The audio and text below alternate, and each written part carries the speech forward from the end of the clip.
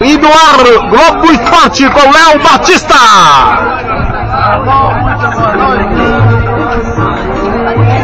Vai, Léo Batista.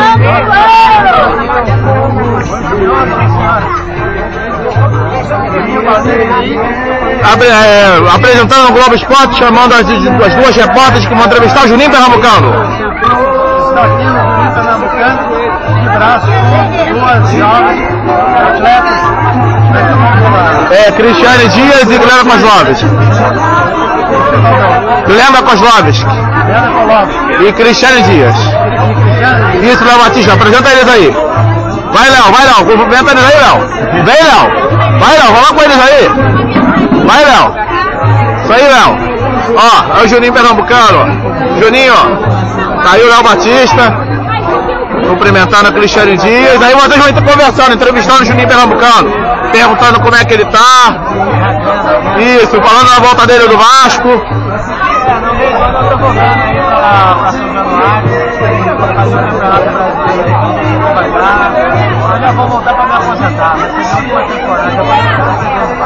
o. E o período no exterior, Juninho Pernambucano? Foi uma muito boa Lyon, ex-campeão francês. É, foi bem na França, tá, tá indo bem no, no futebol do Oriente Médio também, deixou um golaço no último final de semana.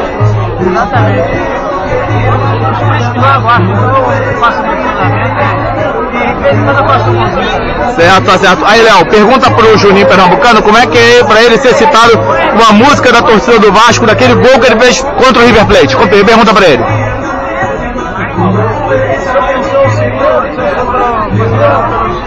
Se o Vasco, depois do. Ah, mas, mas só que você ganhou a Libertadores. E a administração do Roberto na presidência? Ele está na primeira mandato dele, no segundo ele vai fazer um trabalho. Tá. Tirou o Vasco da segunda divisão. Certo, certo, Juninho. O de- quando você saiu e quando você vai voltar agora, o Vasco melhorou? Melhorou a, estrutura? Melhorou o Vasco como uma instituição, o Vasco é uma jogador. É uma instituição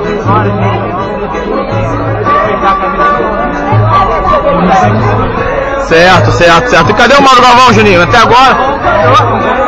Ih, ficou no sul?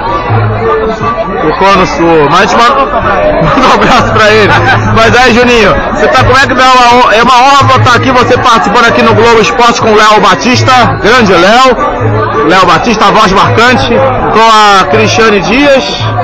Cristiane Dias e a Glenda Kozlovski que está ali conversando com o nosso colega ali. O Pingo. Isso, isso, isso, isso. Estamos vendo aqui. Depois do Botafogo da. Pingo, você tá no. Você tá no Globo Esporte aqui. O Pingo foi campeão, né? com ele o Botafogo não chorava.